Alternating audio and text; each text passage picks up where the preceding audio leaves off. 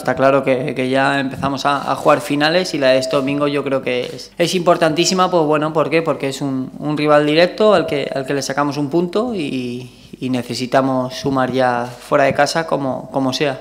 Lo que está claro que bueno que, que estamos a, a, siete puntos de, de los puestos de, de, descenso es la realidad. Sí es verdad que bueno que estas situaciones pues no gustan a nadie ni, ni a afición ni a nosotros porque bueno vemos que, que, se acercan que se acercan los de abajo que al final tú no sumas pero bueno yo creo que lo más importante en estas situaciones es es tener tranquilidad los resultados nos van a llegar seguro porque bueno equipo hay de sobra y lo que yo creo que nos hace falta es que que trabajemos como, como un grupo, como, como una familia y, y el día que, que, hagamos eso van a venir las victorias y, y, las alegrías para todos. La gente, la afición no ha fallado ni un partido, ni en casa ni fuera de casa.